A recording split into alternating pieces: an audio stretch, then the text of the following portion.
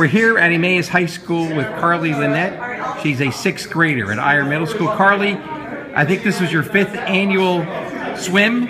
Tell me about how things went today. Today I swam a 5K, which is 3.1 miles, with two Olympians.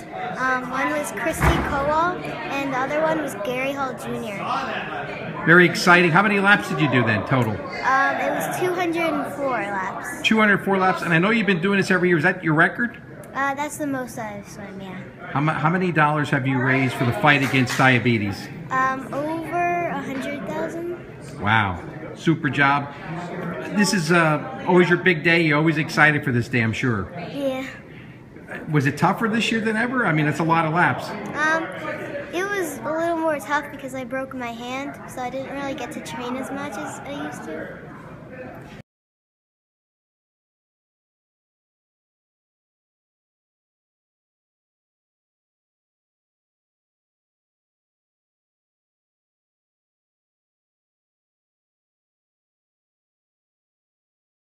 For year six next year, you look planning to come back and do it again?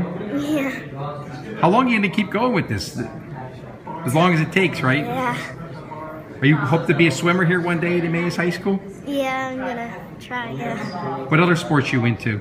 Um, I do gymnastics too.